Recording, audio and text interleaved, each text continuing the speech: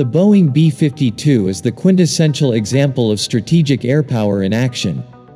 Originally designed to carry a hydrogen bomb over intercontinental distances, the Stratofortress saw extensive use in conventional bombing during the Vietnam War, turning it into a MiG killer by downing two MiG-21 fighters.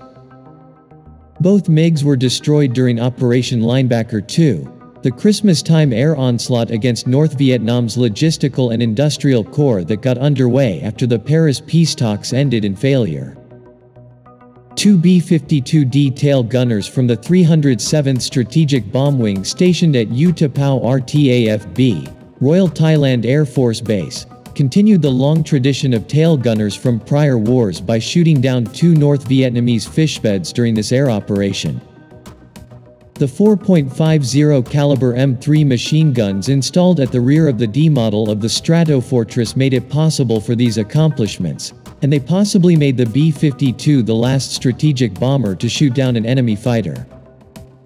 The 600-round weapons on board the A3A fire control system search and tracking radar may be handled remotely from the forward fuselage by the gunner or manually by a tail gunner.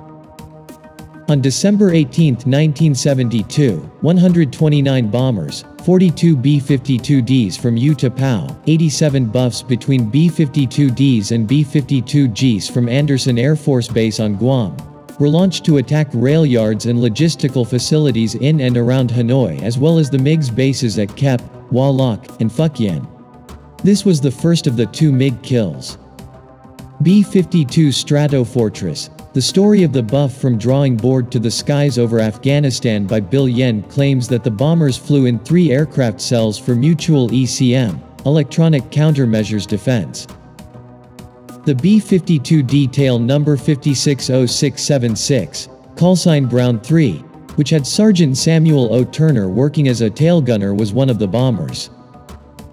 Numerous SAMs, surface-to-air missiles, were fired throughout the bomb run to the target, and anti-aircraft fire of all calibers exploded close to Brown 3. When the B-52Ds arrived at their objective and dropped their bombs, several MiGs took off to intercept them as they were flying back to base. Turner was able to lock onto the incoming fishbed and, as it was in the firing line, he opened fire on it, hitting the back of the MiG-21, which burst into a big inferno.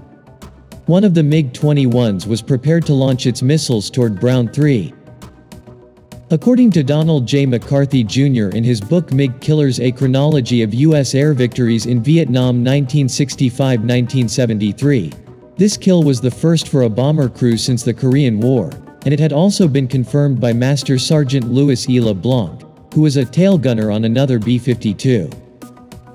At the Fairchild AFB Heritage Park in Spokane, the B-52D with the tail number 550676 is still on display and still carries the iconic MiG Killers logo, a red star under the cockpit.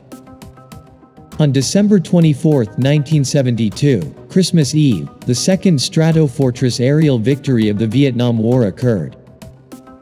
During the bomb run, the B-52s were assaulted by the MiGs, and 30 buffs that took off from U Tapao had to hit rail yards at Nguyen and Kep, 40 miles north and northeast of Hanoi. A1C Albert E. Moore, the tail gunner of the B-52D tail number 550083, Diamond Lil, noticed one of them on the radar site. At 4,000 yards, he latched onto the fishbed and started firing at the blip on his radar scope until it vanished. In his combat report, According to a lengthy essay by Tom Docherty that was published in Flypast magazine's December 2015 issue, Moore wrote, I observed a target on my radar scope 8 o'clock low at 8 miles. I immediately notified the crew, and the bogey started closing rapidly. It stabilized at 4,000 yards, at 6 o'clock. I called the pilot for evasive action and the EWO for chaff and flares. When the target goes to 2,000 yards, I notified the crew that I was firing.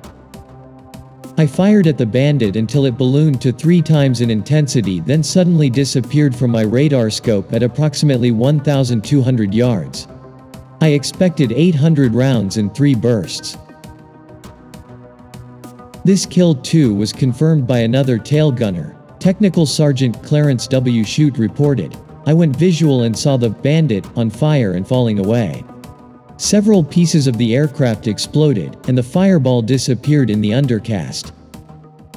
Also preserved and on display at the United States Air Force Academy in Colorado is the B-52D tail number 550083. According to Vietnamese authorities, a B-52 downed a MiG-21 on April 16, 1972, earning its third air-to-air win. General George L. Butler, who was in charge of Strategic Air Command at the time, announced the removal of the gunner post and the deactivation of the B-52's guns on September 16, 1991. As a former B-52 gunner explained to us, we gunners were done away with for two reasons 1. Budget. It was very expensive to maintain the fire control system. It was the only system on the jet that had never been updated. It still used vacuum tubes. If a part broke and couldn't be located, it had to be made. This was very expansive. And 2. Missile technology had become advanced enough to shoot aircraft down from beyond visual range. The guns were obsolete unless a fighter was dumb enough to try and get close enough to use its guns on the buff. Those are the facts. Since then, a generation has passed since the buff had a tail gunner, and the days of a fighter having to be cautious when attempting to get behind a B-52 are long gone.